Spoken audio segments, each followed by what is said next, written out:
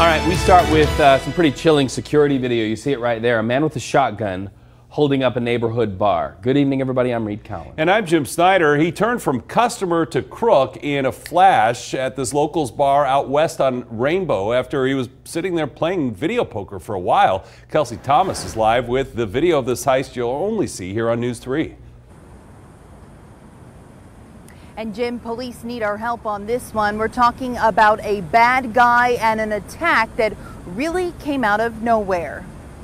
He sat there and sat there and sat some more, playing late night video poker. He didn't look suspicious until he was. Saw the suspect go into the bathroom and he came back out about a minute later with a shotgun. That same guy holding a shotgun in the firing position. The bartender hits the floor. The suspect points the gun at a customer.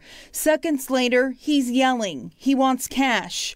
Then the bartender gets up and rushes over to the cash register, reaching in for money. Pointing the gun, the suspect tells her to put the cash in a bag.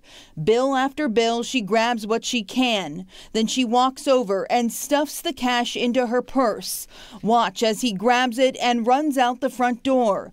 A frightening encounter near Spring Mountain and Rainbow. Dave Roberg works at the bar. Uh, it's very frightening.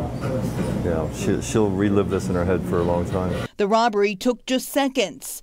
Take a good look at the suspect who got away with about $600. If you are put in the situation to where you are in a robbery, someone has a gun pointed at you, you have to remember your goal is to survive the situation. Metro Officer Larry Hadfield says the bartender did everything right. Give that person the money, give them your watch, jewelry, whatever the case is. They are just things. Your life is not replaceable. Employees hoping someone will recognize the bad guy before he hits again. He's still out there. He might come back. You never know. Don't want it to happen to anybody else. And we've also learned tonight that police have more than just surveillance video to go on.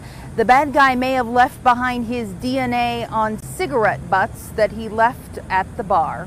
Reporting live tonight outside Metro headquarters, Kelsey Thomas, News 3. All right, scary to think so many of us uh, like to hang out at those places from time to time. Thank you for that.